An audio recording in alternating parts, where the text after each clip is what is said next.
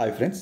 Indian సొసైటీలో కుటుంబం తర్వాత మనకి అధికంగా క్వశ్చన్లు వచ్చేటువంటి విభాగం ఏదైనా ఉందంటే వివాహ వ్యవస్థ.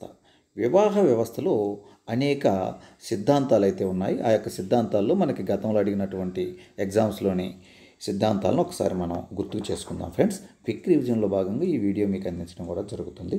ఓకే ఫ్రెండ్స్ మానసిక విశ్లేషణ సిద్ధాంతము.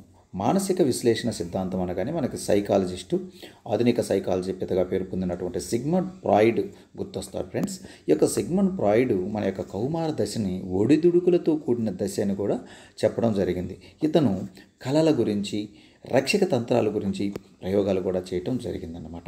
బాల్య స్నేహ సిద్ధాంతం. బాల్య స్నేహ సిద్ధాంతం అనగానే మనకు వెస్టర్ మార్క్ గుర్తుకు రావాలి.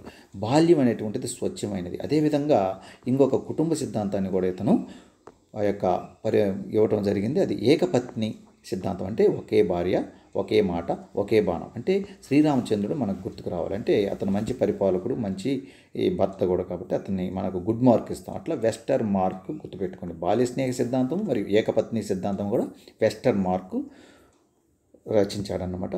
ప్రజనన సిద్ధాంతం. ప్రజనన సిద్ధాంతం అనగానే డేవిడ్ అబిరెల్.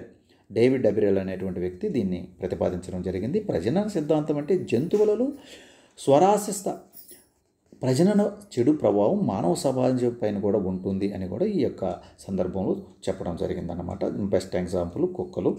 కుటుంబ చీలికా సిద్ధాంతము మలినోస్కి కుటుంబ చీలికా సిద్ధాంతం అనేటువంటిది దీని ప్రకారం అగమ్య గమనమును ఒక కుటుంబంలో ఆమోదించినట్లయితే ఫలితంగా మానసిక ఒత్తిళ్ళు తిరుగుబాట్లు జరిగి ఆ కుటుంబం చీలిపోయే ప్రమాదం ఉంది.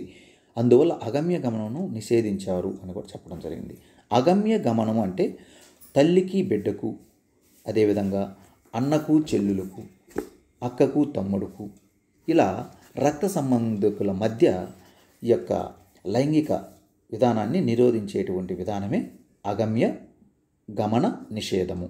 ఇది గుర్తుపెట్టుకోండి ఫ్రెండ్స్. ఈ అగమ్య గమన నిషేధం లేకుంటే మా యొక్క విలువలు నైతిక విలువలు అనేటువంటి అంతరించిపోతాయని కూడా మలినోస్కి చెప్పడం జరిగింది. చీలికా సిద్ధాంతము. మలినోస్కి మలినోస్కి చీలికా సిద్ధాంతం. అలా గుర్తుపెట్టుకోండి ఫ్రెండ్స్. ఇక సహకార సిద్ధాంతం. టైలర్. మనకి బట్టలు కుట్టాలంటే టైలర్ సహాయం చేస్తాడు. అలా గుర్తుపెట్టుకోండి. సహకార సిద్ధాంతం. దీన్ని వ్యాప్తిలోకి తెచ్చినటువంటి శాస్త్రవేత్త లెస్లీ వైట్ లెస్లీ వైట్ అన్నమాట.